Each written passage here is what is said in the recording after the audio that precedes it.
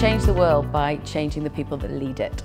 And what we're doing is we're working with people that want to make a mark in the world at a time when their whole future is ahead of them. We've been here for a period of two days. We have been really thinking about what our um, impact and presence is going to be, not only in the business world, but also just in our day-to-day -day lives. A lot of organizations today are trapped in the mindset that they should be training their 40 to 50 year old demographic. If they're thinking about long-term sustainable growth, they need to be thinking about the people who they're hiring today.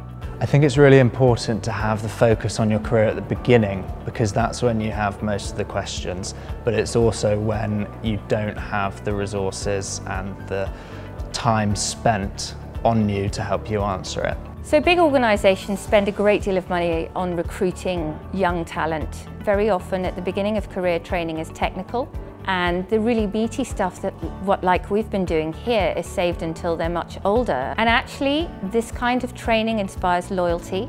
It's an amazing all-round experience that just simply isn't offered in-house in many companies at all. Everyone at my age should take this program because it really helps you shape your future career. Um, I would be happy if I learned this like a few years earlier rather than now. So I work for Google, so we do have a lot of training programs. This program is definitely unique in the sense that you have actual real life coaches working with you and coaching with you.